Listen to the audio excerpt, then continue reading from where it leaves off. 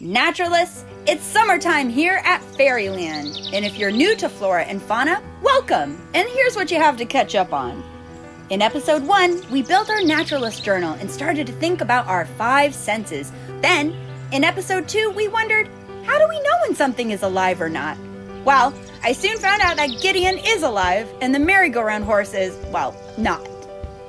Naturalists, we've built habitat dioramas, found hummingbird nests, learned about the six parts of plants, created our own germination stations, and you've sung and laughed with us throughout the way. You guys have done so much with us.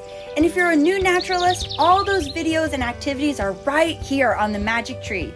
And get ready, there's more to come.